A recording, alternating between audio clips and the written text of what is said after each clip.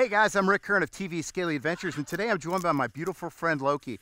Now, Loki here is a blue and gold macaw, and they are found in the rainforests of South America, and truly a beautiful, beautiful bird. But if you look at Loki, what you're going to notice is that there's feathers missing and it's not as beautiful of a bird as it could be. And the reason is, is Loki is a great example of what happens to these animals when they're neglected or when the owners don't understand the kind of animal that they have. Now, Loki is very typical of this, this type of species in that they can live a very long life, but because they're so highly intelligent, they require things that are called enrichment and proper nutrition. Now, proper nutrition for these guys, because they live in the rainforest, is nuts and berries.